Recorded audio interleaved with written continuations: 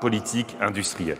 L'Europe, c'est un marché, l'Europe sont des consommateurs, mais l'Europe, ça reste le plus souvent 27 souverainetés industrielles Bon alors, euh, euh, une politique industrielle, c'est quand l'État, euh, par des investissements, va flécher les investissements, va financer, mais donc diriger un petit peu.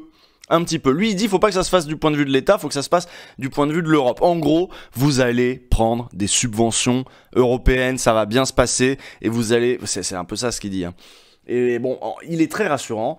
Il est très fort hein, pour, euh, pour parler aux entreprises. C'est pour ça que beaucoup de gens, pendant très très longtemps, ont dit euh, Yannick Jadot, c'est vraiment l'écologie de droite. Et c'est sans doute aussi pour ça qu'il peine à euh, vraiment se faire une place dans le, dans le roster des, candidats de gauche les plus mobilisateurs à un moment où la gauche semble avoir besoin de, radicalité. En tout cas, les gens de gauche réclament de la radicalité, sauf ceux qu'on a vus juste avant, qui eux veulent voter Emmanuel Macron. Puis après, vous avez les 2% un peu résiduels.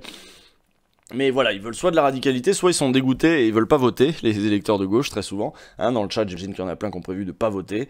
Mais euh, c'est ça, écolo de droite, c'est ça le capitalisme vert un petit peu, hein, responsabilité, compétitivité, mais la compétitivité verte. Voilà, je pense que les gens qui étaient dégoûtés d'Emmanuel Macron, euh, euh, qui étaient pas assez dégoûté en tout cas pour ne, pas envisager de revoter pour lui une fois de plus, euh, aurait pu aussi se tourner vers un Yannick Jadot.